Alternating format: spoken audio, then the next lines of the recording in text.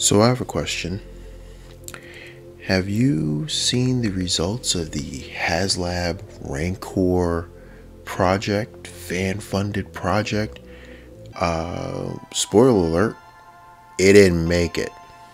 Like I always say on this channel, I feel like I'm the child of divorced parents. Like each one gets an equal amount of uh, of of my brain space. It's like I have the Transformers, I have Star Wars. I love the two equally without debate with that's just how I feel. I just love them. But I always say there's a distinct difference between the two fan bases.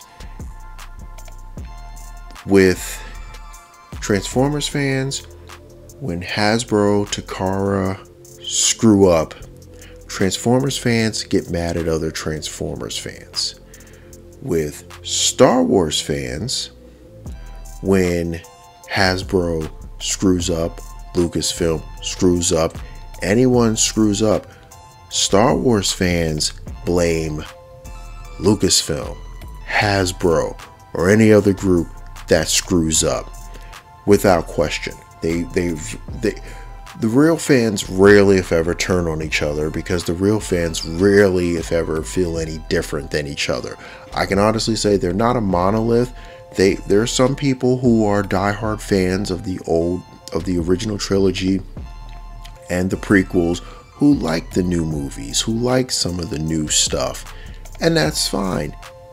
But the ones that we're we're talking about are the the, the the the ones that bring all the vitriol to the to the group the ones that are just they're just there because it just seems like something they can do in between Harry Potter books.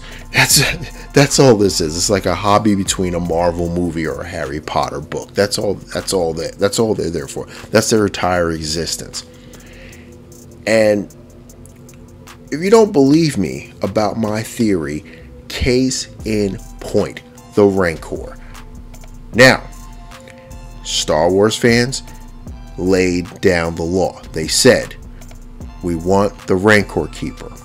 They said, the they wanted Oola, the dancer, in from Jabba's palace. There's literally there was literally a phrase on the internet: "No Oola, no moolah." They weren't going to get a dime. They revealed the tiers the the stretch goals, and they didn't get either of them.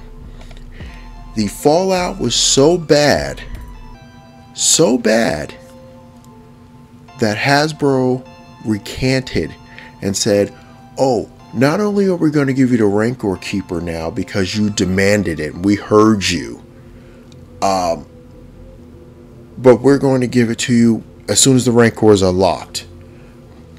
Trying to save face because they decided that a giant cardboard background is worth $350 with some bones, with some plastic bones shaped like the skeletons of uh, of, of creatures from the Star Wars universe.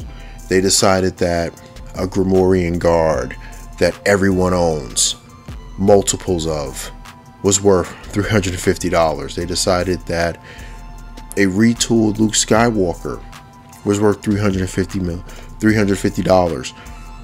And if you add up all the people who would have to do that, we're talking millions upon millions of dollars Hasbro would have made for characters and figures they've already done, they've already released. And the Star Wars fans said, F you. They didn't get mad at each other. They weren't sitting there yelling and screaming at each other. Last I checked, when I went in on uh, Victory Saber, when I went in on that, everybody, all the Transformers fans, all the Transformers fans, they were, oh, they were vicious, just vicious, just going after the old boy.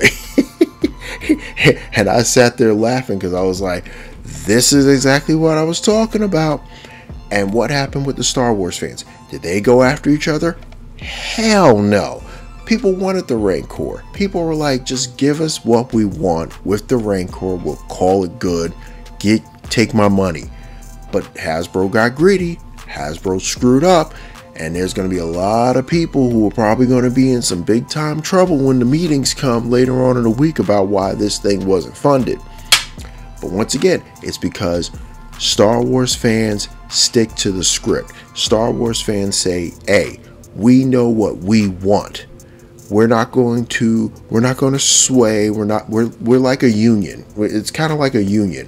We all know what we want. And if they don't give it to us, we tell them to F off.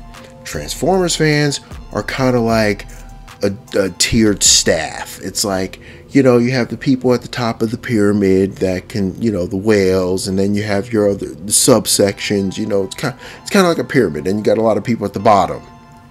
It's kind of, it, it, you know, it it it just doesn't. It, there's no real unionization behind it. There's a reason why this project failed because they had a chance to gain momentum. They had the chance to give people what they wanted, and they didn't, and it failed. Transformers fans need to take a lesson from this. They need we we as Transformers fans, we need to start unionizing better and demanding more from Hasbro. You want to complain about the size of the figures? All the figures are getting smaller and smaller. Better unionize. Stop buying. Tell them to screw you. Give give us larger figures. If you want the prices to sort of drop and the quality to go back up to where it was around Siege, here's your chance. They're they're they're reeling right now from this. They were like, whoa, whoa, where else can we uh, make exceptions? Then you know, what? Now's the time to get compromises from Hasbro as Transformers fans. Now is your time. This is the time to start getting those concessions. This is the time to, to vote with your wallet. And I'm uh, like, right now, I'm very happy, I gotta say, because every store I've gone to when I've gone on hunts, I still see that crappy Kingdom Tracks figure just laying up and taking up space on pegs. The Arcee, the Wheeljack, uh, uh, uh, the Scorponok. Just I just see them taking up space on pegs. And that's a beautiful thing because I know that now people are voting with their wallets. And this is your chance to start getting concessions from this company. This is your chance to start stepping up your game. You want more from them? Now's your time. Now they're reeling. Now they're reeling. The G.I. Joe fans are about to get a piece of that action as well because I don't think that Sky Striker is going to fund. And the G.I. Joe fans are going to be like, hey, we you didn't give us what we wanted at the price we wanted, so you know what? Screw you. So now is our chance. This is this is the beginning of our chance to take to turn the tide in the favor of the fans. It's time to rally. It's time to get our stuff together, and we need as Transformers fans, we need to unionize and come together and say, we're not taking it from you. We're not going to take crappy figures, crappy quality. We're not going to take crappy plastic. We're not going to take brittle plastic. We're not going to take you oh, using crappy clear plastic that breaks and it's just no. We're not. We're done. We're done. We're done. This is our chance.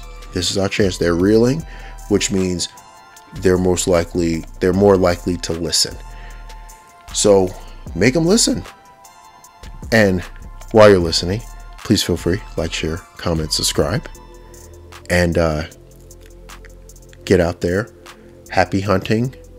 I hope you and any family members you're buying for any or anybody else in the collecting community i hope that you get what you want i hope that you find what you want but mostly i hope that you will tell hasbro we don't want your crappy figures we want good stuff. We want good stuff at a good price. This is your chance. Don't say I didn't warn you. But with that said, with that said, be safe, be good, and this is a drunken prime cracking open another beer and signing off.